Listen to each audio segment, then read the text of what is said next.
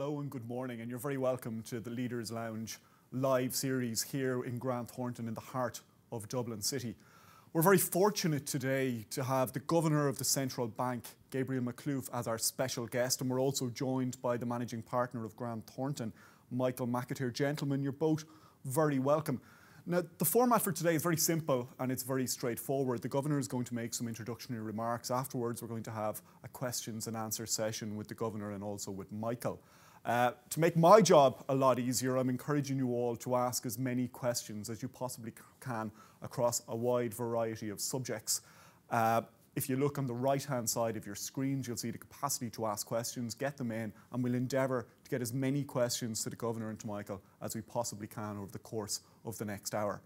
Now, I don't want to be taking up your time by talking needlessly, so with that, Governor, I'll hand it over to yourself to make some introductory remarks before we get around to some questions. And once again, thank you very much for joining us here this morning.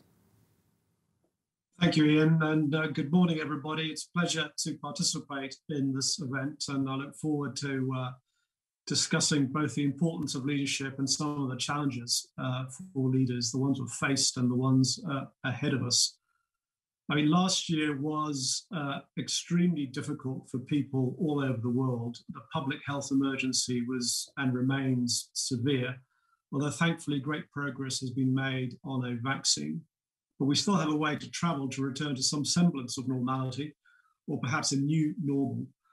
Uh, thinking back to 2019, all those many, many, many years ago, I couldn't have imagined the pace of technological adaptation that was just around the corner with millions of people working regularly from home, video conferencing, shopping and learning online, etc. I expect some of these changes will outlast the virus. This crisis is very different to that of the financial and sovereign debt crisis. It's first and foremost a health crisis. Uh, the economic crisis arising from the pandemic has, uh, to my knowledge, and I've said this before, no precedent in modern history. Uh, I haven't found any examples of economies voluntarily um, closing down in the way so much of the world has chosen to. An important difference to what we experienced 10 years ago is the fact that the financial system has been able, so far at least, to absorb rather than amplify the effects of the shock. The government uh, has also had significant resources available to respond to the pandemic, with the rise in the deficit and debt ratios uh, both warranted and necessary. Policy therefore, has been in a position to support the productive capacity of the economy and avoid scarring effects such as long term unemployment. Nonetheless, the more prolonged the need for measures to contain the pandemic, the greater the risk that liquidity problems will evolve into solvency pressures for affected businesses and uh, ultimately greater challenges for the financial system and uh, wider economy. The enormity of the policy response is visible in the data. For example, at its peak last year, approximately 1.2 million people in Ireland were in receipt of some form of income support. But despite this response, we estimate unemployment is likely to increase from 6.2% in 2020 to an average of 9.3% this year before declining to 7.8% in 2022 a rate well above the pre pandemic level of uh, around 5%. Uh, though high, for comparison, the unemployment rate peaked at just over 16% in 2011 2012. Now, from the outset, the central bank has prioritized dealing with the pandemic's impact on the financial system and on consumers. Our near term crisis response has been focused on the financial system being able to support households and businesses through the pandemic and into the recovery. And this has had different dimensions. I mean, for monetary policy, we've worked with our Eurosystem colleagues to maintain favorable financing conditions across the euro area. Our macroprudential policy stance in Ireland is intended to enable the financial system to absorb losses from the shock and maintain the supply of lending to households and businesses. And we're focused on the approach of the financial system to managing distressed debt, including that related to pre existing mortgage arrears. Now, looking ahead, what happens to household savings will be important for the Irish economy as individuals and households may choose to use them for consumption in the future when circumstances allow. And the relative resilience of the public finances overall should contribute to economic recovery uh, in 2021, as we hope that widespread vaccinations allow the economy to start functioning without restrictions once more. And uh, as I discussed last week uh, in a speech, rebuilding and strengthening this resilience is a key priority for the central bank. Now, perhaps one of the uh, unique experiences that many of us will have had over the last year is leading organizations remotely. Leadership through the pandemic has brought its challenges. Technology has enabled organizations such as the central bank, where work can be done remotely, to continue to operate. But as time has gone on, the drawbacks to building and maintaining the relationships and uh, the social capital that contribute to a successful organization become apparent. As governor, my number one priority has been the care of our people. Fighting an invisible virus has created enormous anxiety for everyone in the community, and it's no different to people who work for us. A radical shift in working arrangements has been accompanied with added caring and teaching responsibilities, in many cases at least, along with the changes in our normal patterns of social interaction.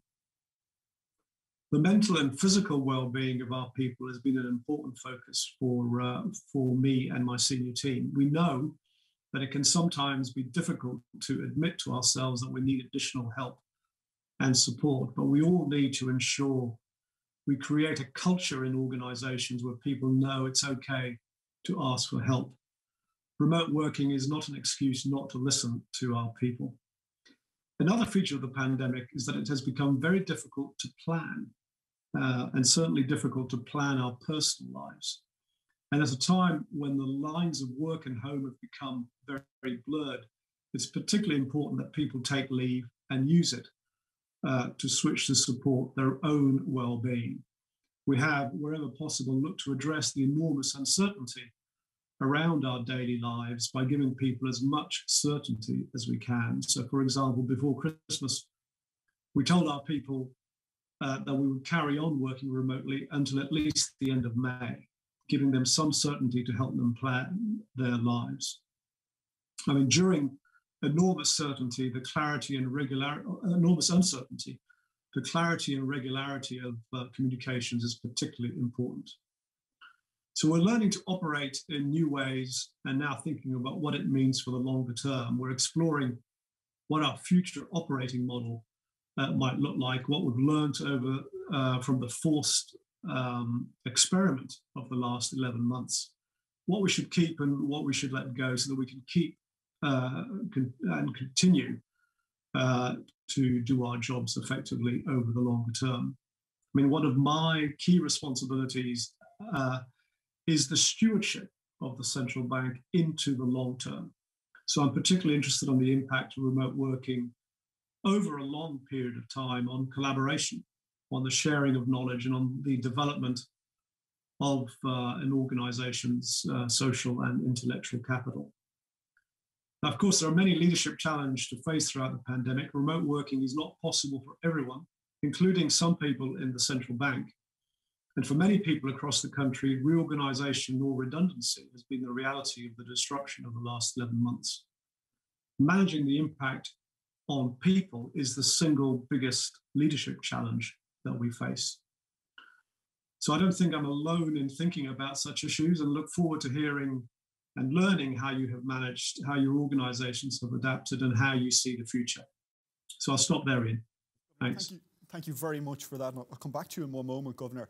But Michael, the Governor mentioned there the solvency crisis, the financial crash of a decade ago. You were I don't want to say instrumental is the wrong word, but you were very busy during that period um, between being the administrator of Quinn Insurance, restructuring some very significant companies. Um, when you look now and you say the similarities and the differences between that crisis and this crisis, which I think, as the governor rightly put, is a health crisis. Absolutely. I mean, I think there are just so many, so much more difference between now and 2008 If you look back in 2008, it, it was a it was a global financial crisis, but in this country, particularly the construction sector and the property section, uh, had a, an overwhelming crash and, and had an impact straight away. I think the balance sheets of companies were significantly undercapitalized back then, not just in the financial sector, but right across uh, all of our industries. And they weren't built to sustain and had got probably a bit fat and a bit inefficient in, in, in the way they were operating. I think that stretched then also into people's personal balance sheets in the sense of overstretching. Uh, and when the financial crisis happened, it impacted on every individual person in this country. And then, of course, led to significant unemployment, as the governor has pointed out.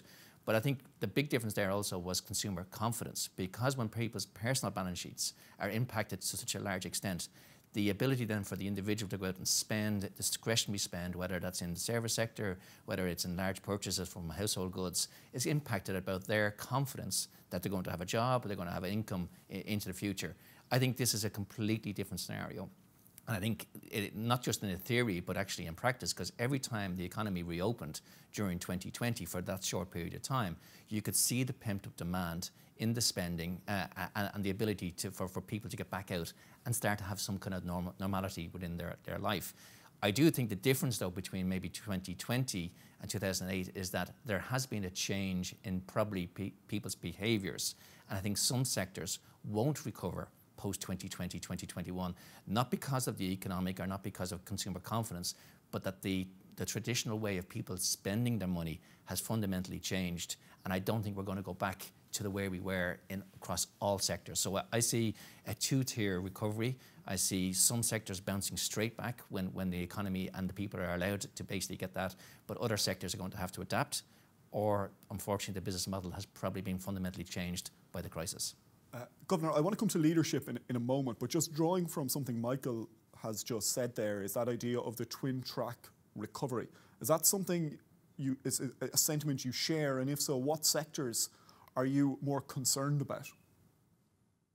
Yeah, no, I do. I do share that, and I mean we've seen that in the, um, uh, especially in Ireland, in the in the data of the last eleven months, where you know exports and particularly uh, pharmaceuticals, medical supplies, IT have done actually reasonably well, um, and will probably mean that that Ireland had a positive GDP.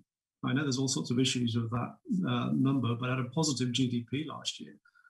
Um, but we also know that unemployment's very high, as I said earlier. So um, the pattern, and it, it is reflected to different extents across Europe, is of an uneven uh, recovery. And uh, I think, uh, I mean, I do agree. Um, I mean, one, we've seen it in the evidence. Two, uh, I suspect, and I said it uh, a few minutes ago, I suspect that some of the changes in behavior enforced so far will continue. I mean, the big question is um, is the extent to which, uh, to, to, my mind in particular, is the extent to which retail, um, uh, our retail habits are going to change. Um, I mean, I think they will to some extent, but I don't know to what extent. And I think that's the big question for me. Yep. Um, I'm going to get in. I see the questions are starting to flock in, Governor, so I'll come to those in a moment. But it is the Leaders' Lounge. And I remember the economist Colm McCarthy once famously described the governor of the central bank as a smart man in the bank in the back room managing all the money.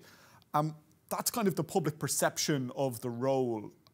We never normally think about the role as the CEO of a very large organisation, which you're also as well. And I'm really interested about your style of leadership, particularly when you arrived in Ireland, you're in the job, and then suddenly you're working from home and all of your staff are effectively working from home. How do you go about stamping your own new leadership style upon a very large organisation during a time of unparalleled crisis? Well, it, um, I'm certainly uh, running my own experiment, uh, if you could put it like that. Um, I had six months uh, roughly um, in a traditional way of introducing myself to the organization. Uh, and I've had 11 months uh, of working remotely. I mean, the fact that everybody is in the same boat, has been in the same boat for the last 11 months, has helped. Um, I've, uh, I've led organizations, uh, sizable organizations in the past.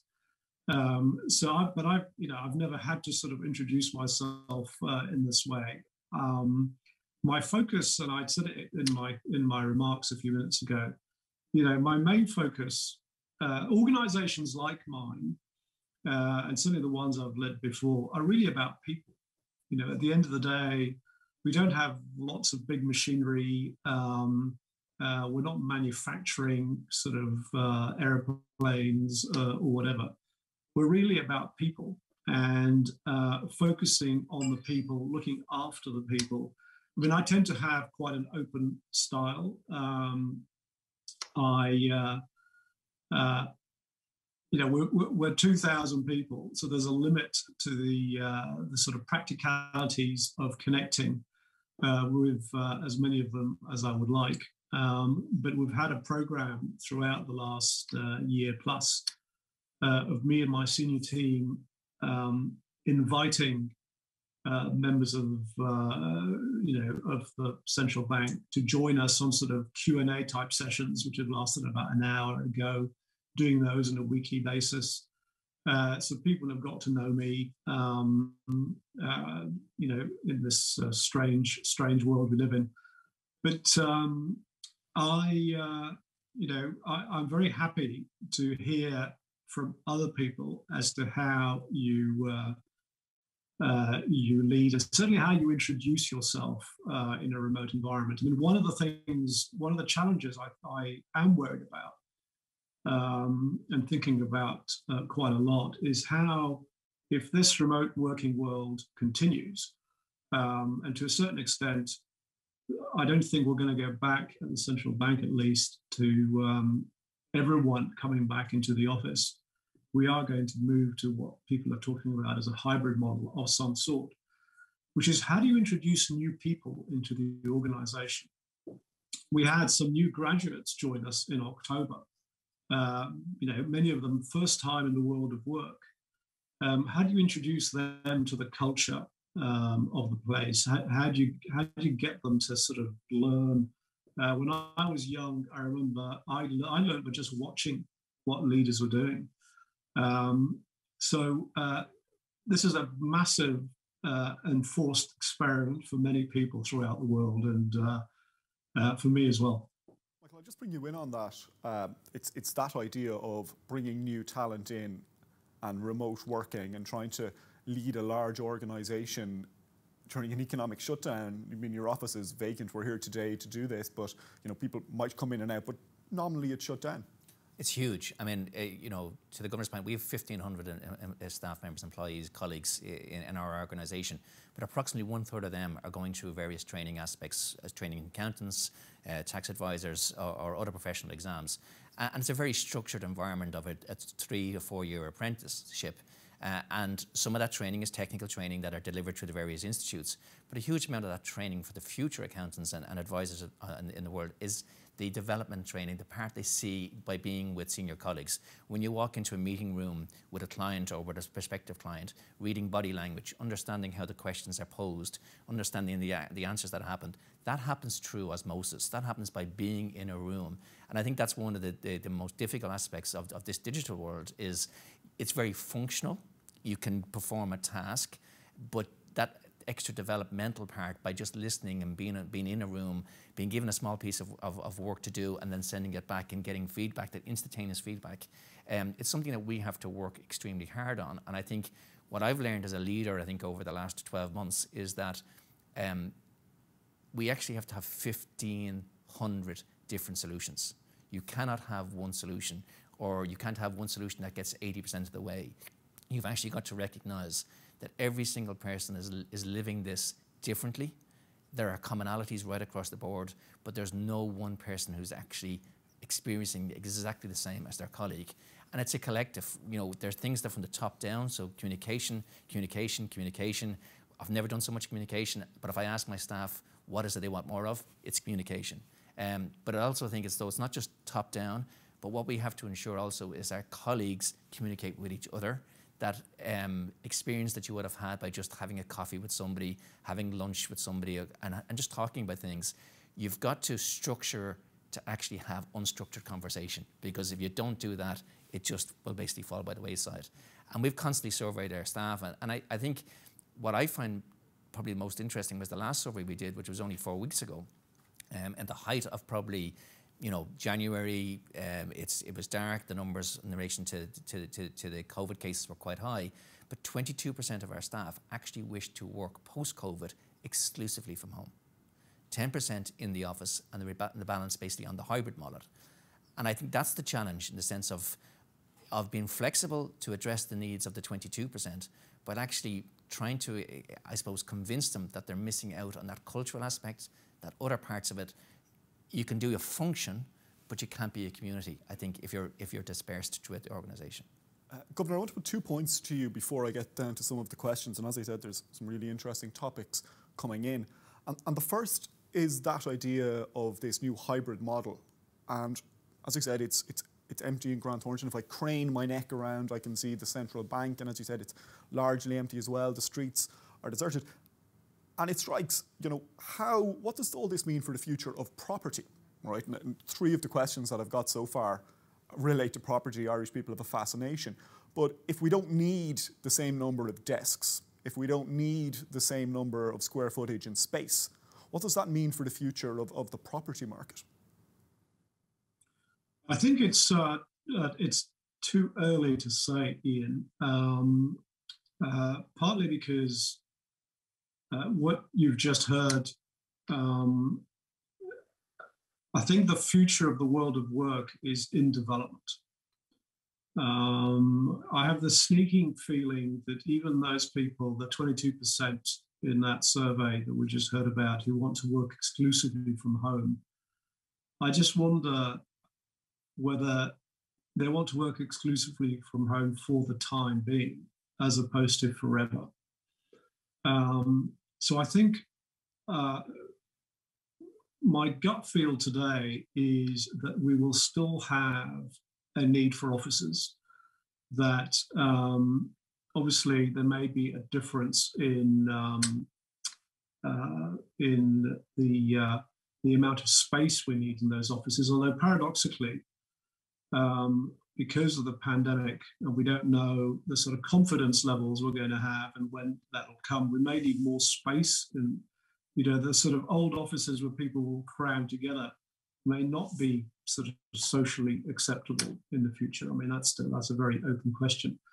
But I think there'll be a role for officers still, in my view, that cohesiveness uh, of uh, organizational cultures, um, the, the, you know, everything I talked about earlier, um, my, my instincts are that we'll still need those. I do think that uh, when it comes to retail property, um, uh, that may be different um, because I, and again, I don't know, but I think it is more vulnerable to the changing habits uh, of people's, uh, you know, people's online shopping. Um, and in terms of residential property, uh, demand for that is going to continue to be high, but it may turn out to be in different places. So um, if remote working becomes the norm, um, we may find that people are, you know, want to live outside of uh, central Dublin. Um, on the other hand, you know, central Dublin has other attractions, and uh, but so in my in my hierarchy of what will happen to property, I think residential property, and that's been the you know the uh, the reality of the last 11 months anyway. I mean, I think the demand for residential property is not going to go away. Uh, I think the demand for uh, commercial office uh, property uh, to a large extent is going to continue. Um, and I think there's a question mark over the extent of retail. And it'll be absolutely down to uh, consumers and their habits as to what happens to retail. And another point, it's a slightly off-piece point, but I want to bring together two strands of something you've talked about. And number one, it's young people coming into the workforce and struggling to kind of get embedded. But you also mentioned the unemployment rate. And I think one of the striking things for me from Paschal Donohoe's budget speech last September, October, was the staggeringly high levels of youth unemployment. And this pandemic, Governor, really seems to be impacting on the next generation, the younger people coming through far more than anyone else. How do we, what, what do we do to stop this, to prevent, and I don't like using sound bites, but what do we do to prevent this looming lost generation?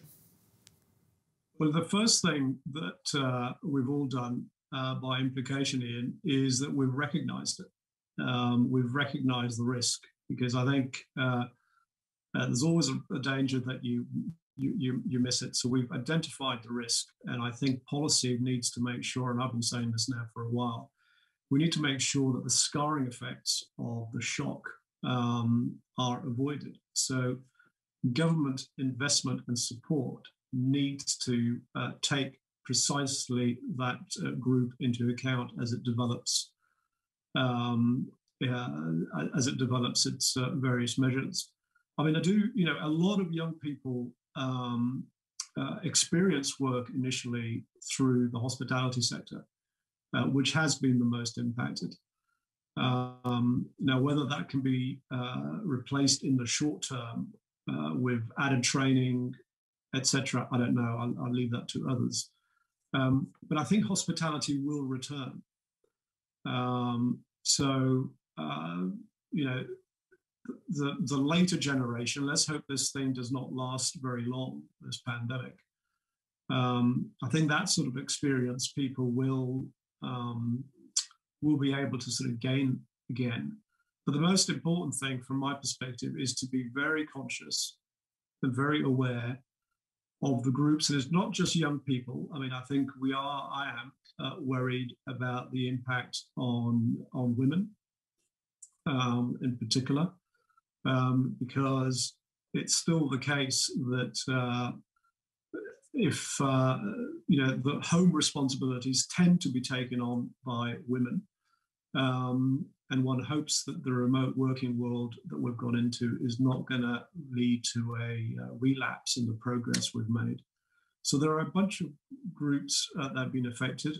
Government has got a role to play in the support, but actually employers have got a very big role to play in some of the impacted groups and uh, need to be uh, thinking quite carefully about that because a lot of these people are their future workers just two points on that. One, in relation to the mar- marginalised, the, the, people most affected, but the governor has also talked about the sectors such as retail that he believes are most affected. And obviously, you've a lot of visibility, you've a lot of clients across a range of subjects and the experience of the last decade. What's your view on the sector is and the people most impacted? Okay, well, we can do the second one first in the sense of, of, I think, uh, to, the governor's point, I think that the, the day of the death, the death of the offices has been way overstated. I do think uh, when uh, we move into the, the new phase going forward, offices will be a key cornerstone of, be, of businesses into the future. It's, it's, it's the centre, it's how culture can actually um, move down to an organisation. Um, it, it's, it's used more than just a functional aspect in, in relation to employment. I think how we use our buildings will be fundamentally different going forward. I think the idea of a desk for five days a week and, and people coming in five days a week is over uh, and therefore how do how do buildings be used efficiently to be able to take all of its workforce in in an, in an, efficient process so that they don't have them full on a Tuesday, Wednesday and Thursday and empty on a Monday and Friday because that, that doesn't do anybody uh, uh any good. Um, in, in relation to the retail sector, the bricks and mortar, I think completely agree and it gets back to, I think those businesses are, are faced with how do they have the hybrid model, model themselves going forward? Are they online? I think there's a, there's a natural wish and desire uh, to basically still shop local. Probably if anything else, COVID has actually made shopping local even more important. But if the local business is not online, they're not going to survive. So, so you don't necessarily need to be a multinational uh, web-based company to, to basically boom into the future. I think there's a role for small retail indigenous Irish companies as long as they can be found and as long as the experience online is as good as it is through a multinational company. In relation to people, again, I think it gets back to that point in the sense of everybody is handling it differently, no matter whether you're a 21, 22 year old graduate, whether you're a, a, a, key you know, senior member of staff, male or female, what is happening in your home environment, how you're getting to the work, how you're able to manage your day. And I think that's, that's partly to, to again, to, to, the governor's point, how employers uh, are ensuring that if somebody sends an email at 11, 10 o'clock, 11 o'clock at night, because that's how they've had to manage their day, it doesn't require somebody else to waiting by the phone to respond to that email because they feel if they don't respond to their boss, that a black mark will be marked against them. We've, we've all got to realize everybody is working to different time zones, different ways, and we all have to react differently to, to, to how that is, is done. So the working week of nine to five has probably also been redefined because of what's happening in, in individuals' personal capacity as well. Now, Governor, here's the fun part. I have an iPad in front of me. The questions are starting to come in from the 500 odd people who are logged on. So I don't have control, you don't have control. We'll see, we'll see where we go. Uh, but I'll say one thing there's a number of questions here, two or three, and they center around three letters FBD.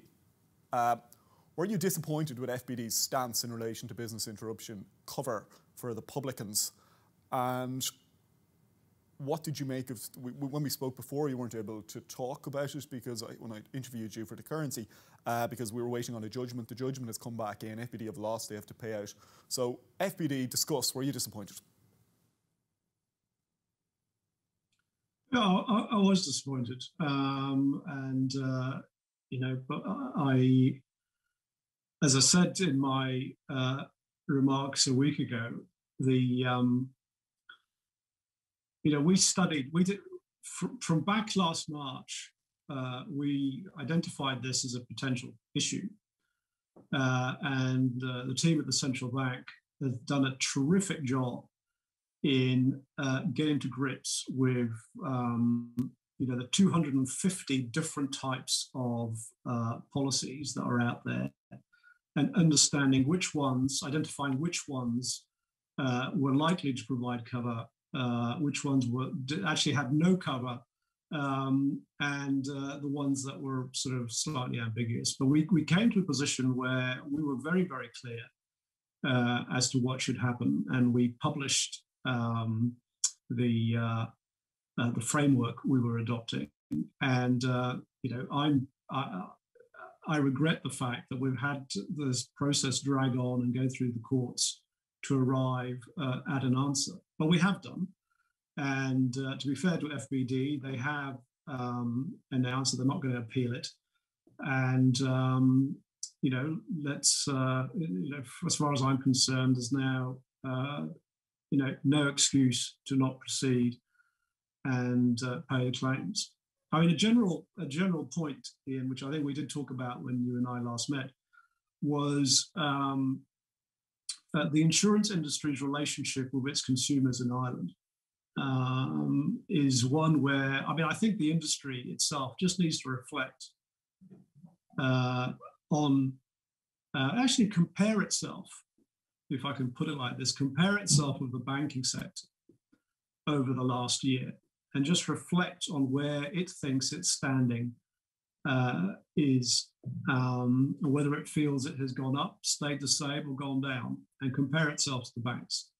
Um, I'm not going to I'm not going to get drawn much more than that, but I do think um, it's something that uh, a bit of a period of reflection is definitely worth uh, worth doing. Michael, you ran an insurance company uh, for for a period on, under the sanction of the central bank. Uh, what, what's, what's, I mean, let's not get into the FBD piece, but that idea that insurance companies are now the banks of, of in terms of public perception. One key thing in insurance is is consumer confidence. If consumer confidence don't believe that the insurance company is there to, for them when they're needed, um, then consumers won't buy the product because that and, and so confidence and trust uh, and the spirit is a huge part uh, of that in the sense of, of, of knowing that when you need them, that, that they'll be there to basically pay out. And I think it goes back to, you know, businesses generally can handle pretty much everything that's thrown at them except one thing. They struggle with uncertainty. They, they, businesses can, no matter what is thrown, once they certainly know that X, Y, and Z, that's fine. If that's the fact pattern, businesses will adjust, manage, and usually thrive, no matter what the, the scenario is. But when you don't know and you're uncertain and you don't know if you've got cover and you don't know what's happening, that uncertainty actually is the worst thing a business can happen. So to me, the clarity of, of the decision now being made, that, that there's certainty in relation to that going forward, helps. It helps businesses being able to, to, to move forward and, and, and, handle. But the trust element of, of, of, of wondering every time that somebody buys a product, is it going to be in the small print? You know, this is what we thought we bought. This is what was perceived what we, we were purchasing. But if I've got to look for the small print every single time I need it, that's that to me I think is a bigger issue. Uh, Governor, I have two questions here relating to Bitcoin. Uh, Elon Musk likes it. Uh, do you? Um, do I like it? Um, I I actually have no view on it. Uh, I've spoken. I was asked about it um, before. In fact, I think you asked me, and um, and my, I obviously people uh, want to put their money into it because um, they think it's an investment. And uh, as I said to you, Ian, uh, 300 years ago, people put their money into tulips because they thought it was an investment. Um, and some of them made money and some of them lost money. Quite a few of them lost money. Uh, and from the perspective of the governor of the Central Bank of Ireland, my main message to people who want to put money into Bitcoin, it is, you know, uh, you should be ready to lose all of your money. Um, I'm not saying don't put it in, uh, nor am I saying, you know, put it in. I'm just saying be prepared to lose all your money. So some people take the view that um, it's an investment. I mean, I uh, and perhaps it'll turn out to be a sort of long-term investment. Uh, personally, uh, I wouldn't put my money into it, um, but uh, clearly some people uh, think it's a good bet. Just a very quick follow-up on that theme. Just a question in from Tom Jinks, uh, from sorry, from Supreet Mohan. Will Ireland allow cryptocurrency-backed ETFs in the marketplace? Um, I, I, I, I, I don't know uh, either way. I mean, I think that's that's an issue which um, we are, uh, which we'll be thinking about as you know, in, along with all of our European uh, European colleagues.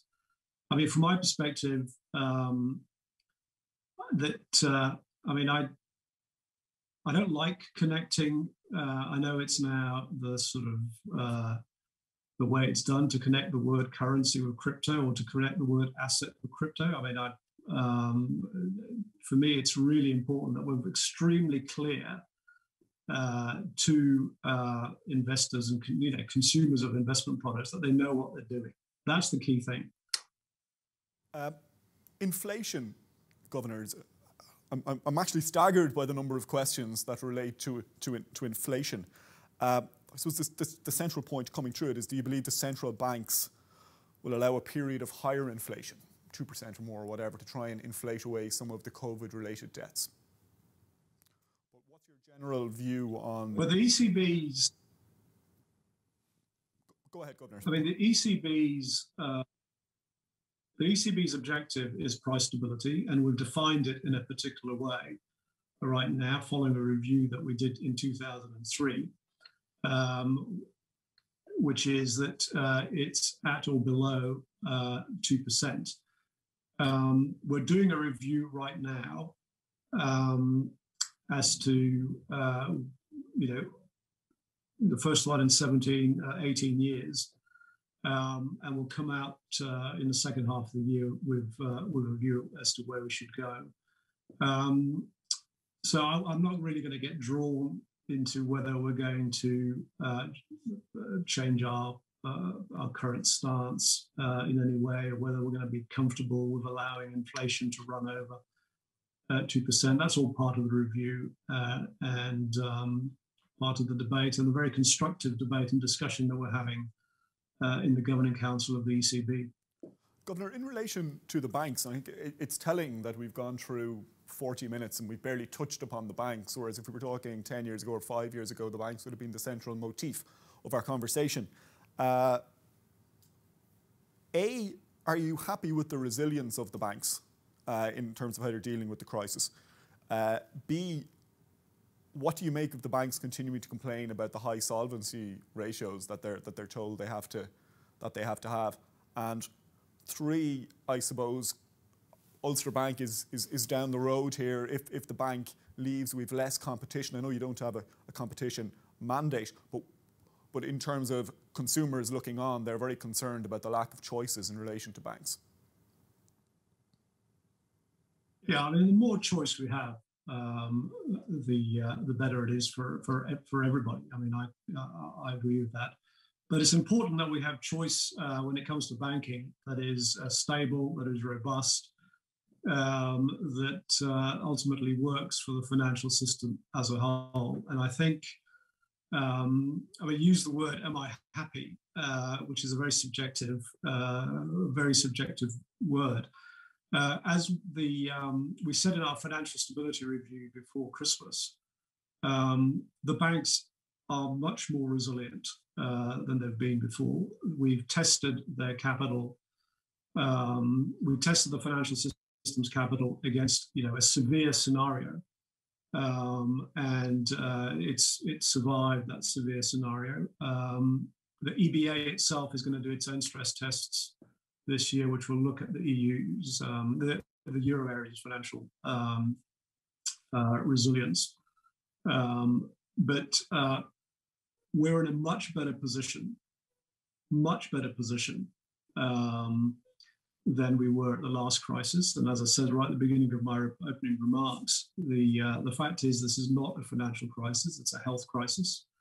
The banks are still standing. The financial system is working to support people through the pandemic and the recovery.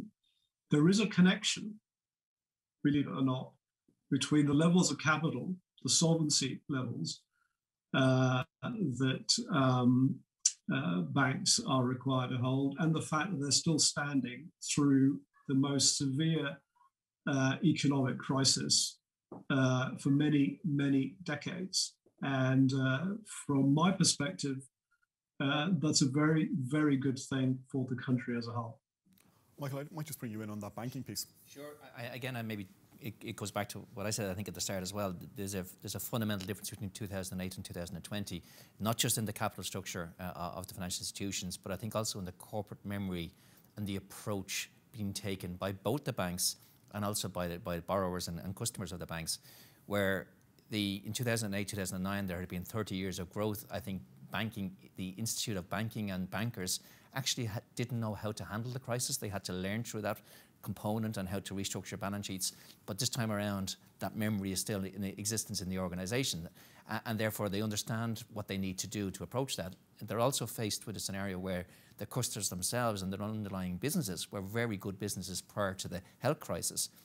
So I think the, the, the also the borrowers and the, consumer, the customers are more sophisticated in their approach. They realise by going to the banks at the start of the crisis, explaining what's happening, explain to the bank that they're completely on top of their cash flows, they understand their business model, they can, they can again, go back to that certainty, they can flex, they can move ahead, and gives the banks confidence that they've got the right customer who can trade themselves out of this problem.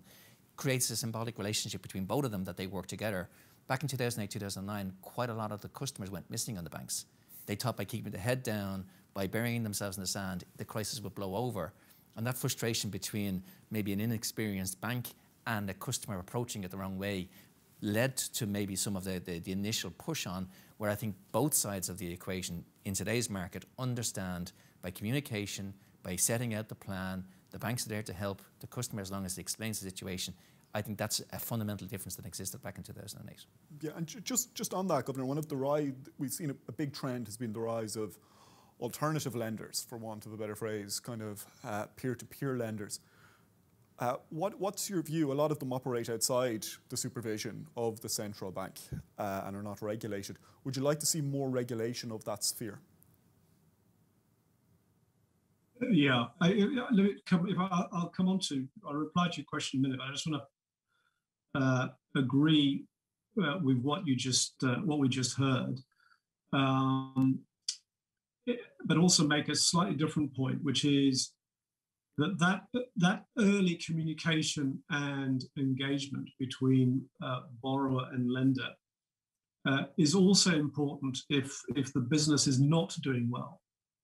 If the business feels that it's in trouble, uh, the sooner it can talk to its lender and the sooner they can work out uh, what to do about it, the better. Um, in contrast with what happened, what happened uh, in the financial crisis 10 years ago.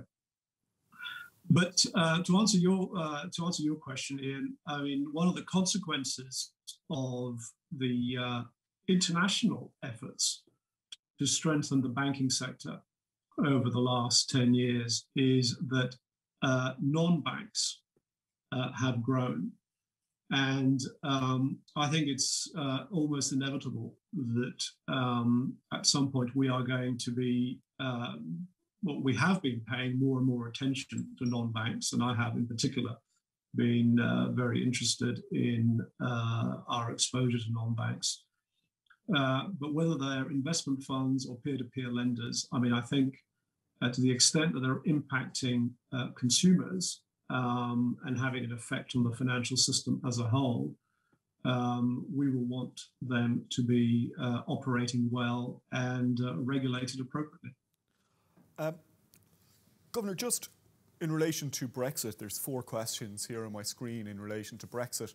Uh, there's a theme. There's a theme to them. It's not about the threats of Brexit, but it's about the opportunities uh, in relation to financial services, taking people out of London, and there's just your view on the, on the opportunities there. And also, there's a, a, very specific question here. After the Brexit rush, how will the central bank ensure a level playing field exists in regulatory supervision vis-a-vis the UK and with our European partners? So I suppose it's two points. There's that regulatory piece, but also the opportunities that you see arising for Ireland out of Brexit. Well, our focus is on making sure that the financial system is well regulated, working with our European partners. And um, uh, the you know actually it's quite a live debate right now as the whole equivalence uh, for UK financial services discussions are going on in uh, in uh, between Brussels and, and, London. But we will, in, in, some respects, we're not going to do any different um, in uh, in the EU as we were doing before Brexit. I mean, we want to make sure that uh, our our financial system works in the interest of uh, consumers across across the EU, and in our case, in in, um, in Ireland. In terms of opportunities, I mean, I think um, I, I, mean, obviously there are opportunities, but I think there are also there are also risks and downsides. Um, so uh, I, you know, from a central bank perspective, uh, again, we're just going to be very careful at making sure that those risks are uh, identified and managed. Um, so simply growing financial services in um, in Dublin as a result of a move from London um, doesn't mean that uh, you know uh, we aren't going to be careful uh, about that. Um, but clearly, we've seen a growth uh, in financial service business, but so has Paris and so has Amsterdam. Um, uh, and you know, I mean, it's it was uh, inevitable. But I don't think this um, opportunity issue, uh, leaving the risks aside, um, should really just be talked about in the context of financial services. I think for Ireland in particular, um, partly because uh, of the English language, partly because of our connections to uh, the United States. Um, in some ways, the opportunities for the country as a base for inward investment, which is, it has been incredibly successful in over the years. Um, but the manufacturing uh, that we've seen, you know, what I mentioned earlier, that has played such a big role in uh, in supporting uh, the economy uh, over the last 11 months. That's an opportunity for us um, as a country. And um, so there are opportunities. On the other hand, if you ask me, um, was Brexit worth it for Ireland to have those opportunities? Uh, my, my views are undoubtedly no. Ultimately, everybody is a loser with uh, the UK's departure from the EU. And what we're trying to do is uh, to uh, minimize, in my view, uh, the impact of, uh, of those losses. Michael, you're talking to companies all day long. I mean, clearly we've got some opportunities, as the governor said. Everyone's a loser. What's what's the mood music of business? Well, I think again, it's it's a bit similar to the to the COVID crisis. There are going to be winners, and there's going to be companies that can adapt, and unfortunately, there are companies that, that basically it is going to have a, a significant impact on, on, their on their business. Um, I think for the island of Ireland, and, and, and uh, I mean in, in, in, total both north and south, this is can be a great opportunity once we basically establish the, the, the, the go forward uh, um, operating model. And I think that gets back to that certainty issue. Businesses, once they know the rules of engagement, can get on with it. I think, you know, sometimes a crisis um, helps a business to thrive. And what I mean by that is that you can get quite lazy and quite fat by basically supplying the same market that you've been supplying because it's easy and you just get into that, that component being forced to actually look at a much bigger market, which is mainland Europe, for product and for, for indigenous Irish goods, forces companies to get outside their comfort zone and maybe realize that it wasn't as difficult as it been perceived to be. And then you're in a market of 400 million versus a market of 60 million. So there is huge potential going forward um, once we all figure out the rules of engagement. And, and I think, so we're, we're very well positioned where we are to look both uh, east into the into mainland Europe for, for our goods, but also to go back to that relationship we do have with, with the US and be the, the, the landing zone for, for US multinationals who want to put a real business into the European market and set this country as its headquarters, not just from a tax viewpoint, but from a, a bricks and mortar and a real product viewpoint going forward. So overall, would you want Brexit? Absolutely not. But now that we have it, I think it can be in 10 years' time a significant opportunity for the, for the economy.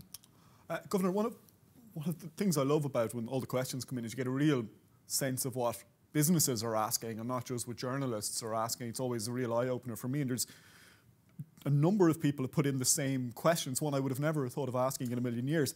Uh, when are we going to go cashless? Will COVID drive Ireland to a cashless society? It's obviously on the minds of an awful lot of businesses out there. I don't think we're going to go cashless. Um, uh, very quickly. Uh, we're certainly uh, seeing a massive increase in um, in uh, non-cash payments, but uh, I I would be surprised um, to see cash disappear very soon, and certainly we're not planning on the basis that cash will disappear. I mean, at the ECB, we just finished a consultation on on uh, developing a digital euro, which we're now considering um, uh, next steps. But you know, we've been clear from the beginning that a digital euro will be a complement to cash and not a replacement.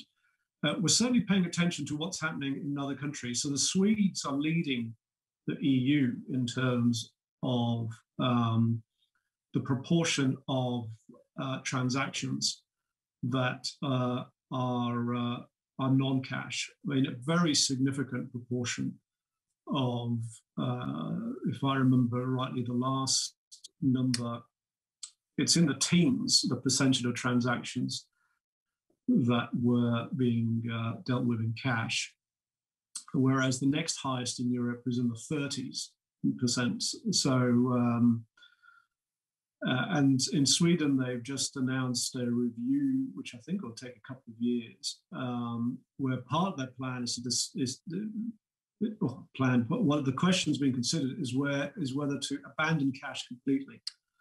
I think across the euro area, um, it's a, quite a cultural thing, and I think um, in some countries, uh, cash is used quite a lot.